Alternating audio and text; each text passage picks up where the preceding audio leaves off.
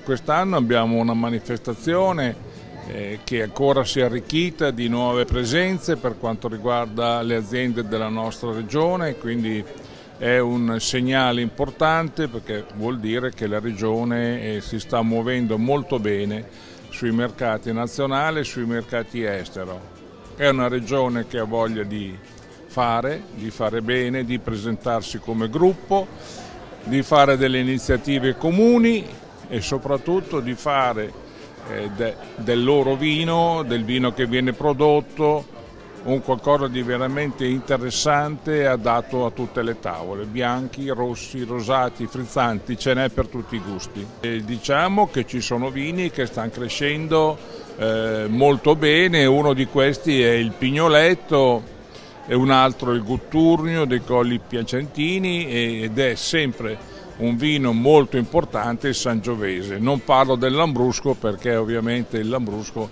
da anni è leader nelle esportazioni. Il vino fuori dall'Italia, quindi il rapporto con l'estero, è importante seguire quella strada? Assolutamente sì, tant'è che nella missione della nostra enoteca c'è proprio il fatto di avere presenza in tutte le fiere del mondo accompagnando in questo modo i nostri viticoltori, i nostri produttori, le nostre cantine. Diciamo che il 2018 per quanto riguarda l'export è stato un anno di conferme per l'Emilia Romagna rispetto al 2017. Conferme perché l'esportazione è stata di circa 322 milioni di euro dall'Emilia Romagna eh, ed è una conferma rispetto all'anno precedente. Eh, per quanto riguarda i mercati di sbocco, i principali mercati di sbocco del vino italiano, beh, noi abbiamo che eh, tra Germania e Stati Uniti eh, questi due mercati rappresentano circa il 50% dell'export del nostro paese. L'Emilia Romagna è in quinta posizione eh, tra le regioni italiane per export del, eh, del vino. Ovviamente primo è il Veneto,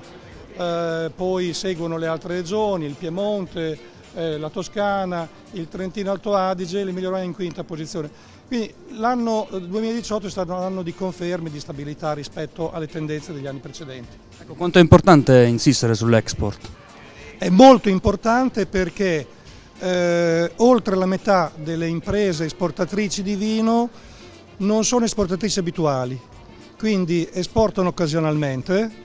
esportano poco e possono esportare di più, ma soprattutto la vera sfida per queste imprese è quella di stabilizzarsi sui mercati esteri, cioè fare del prodotto vino un prodotto che si trova permanentemente sui mercati. Questa è la sfida eh, sulla quale stiamo lavorando in Emilia Romagna, non soltanto per quanto riguarda le imprese che producono ed esportano vino, ma in generale per le imprese manifatturiere di questa regione. Cioè, l'obiettivo che, che, ci proponiamo è quello di accrescere il numero delle imprese che sono esportatrici abituali. Siamo da un dato molto bello, devo dire che è un dato in aumento costante, noi esportiamo più della metà del nostro vino, quindi per dirvi quanto è importante la proiezione all'estero, la prendiamo molto sul serio come regione, per cui non solo ci investiamo 6 milioni e mezzo di risorse dell'OCM promozione, risorse in aumento peraltro in questi anni, ma soprattutto ci andiamo, nel senso che come regione supportiamo missioni di sistema insieme all'Enoteca regionale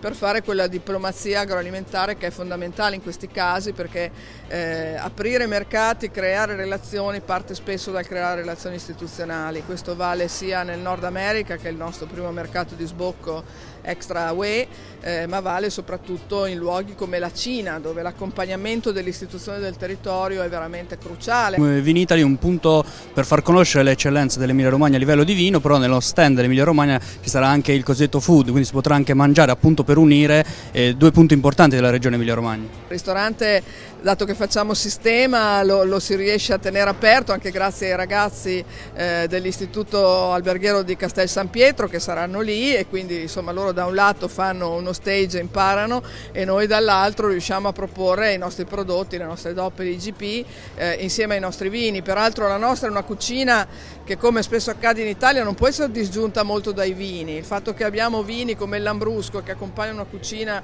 un po' grassa in Emilia oppure che abbiamo vini insomma, corposi come il Sangiovese ad accompagnare la cucina romagnola non, non è un caso. Eh, nel vino c'è stato un, un, un, investimento sulla qualità dei nostri produttori clamoroso, eh? sia nelle campagne, sia nella trasformazione, sia nell'enologia. Eh, questo ormai si sente nelle produzioni e quindi abbiamo il dovere di farle conoscere sempre di più e soprattutto di diffonderle sempre di più anche in Emilia Romagna, in tutta la parte della ricezione turistica e alberghiera. Beh, l'Emilia Romagna si presenta sempre molto bene, abbiamo un unico padiglione dedicato all'Emilia Romagna dove mettiamo dentro tutta la produzione emiliano-romagnola, aziende grandi e medio piccole, quindi una logica di sistema che funziona.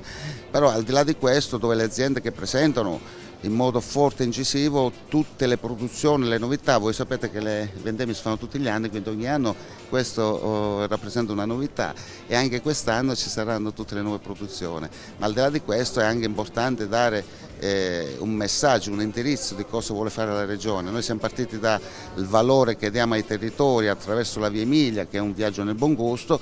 per passare alla sostenibilità dove chiaramente l'impatto economico, sociale e anche ambientale è fondamentale, quindi di conseguenza noi riteniamo che anche attraverso il turismo che è l'altro tema di quest'anno si possa dare valore alle nostre aziende che tanto hanno fatto nella capacità di valorizzare quei territori e fare accoglienza. Ecco, l'importanza di una manifestazione come il Vinitali per far conoscere ancora di più il vino, anche per creare una cultura del vino. Beh sì, voglio dire, Vinitale è, è, fondamentale perché tutto il mondo del vino italiano eh, chiaramente eh, si raduna lì e voglio dire è un appuntamento imprescindibile e l'Emilia Romagna chiaramente come dicevo prima ha tanti eh, elementi da mettere in campo perché è una regione di eccellenza e quindi di conseguenza non possiamo prescindere oggi da Vinitale perché tutto il mondo della produzione italiana è lì, anche quello emiliano-romagnolo. Beh, l'esportazione eh, sta crescendo, oh, per fortuna anche l'Emilia Romagna è cresciuta eh, nel periodo 16-17 è cresciuta dell'11,3%, quest'anno ha mantenuto quel dato con una piccola crescita ancora, quindi eh, per fortuna che c'è anche l'export.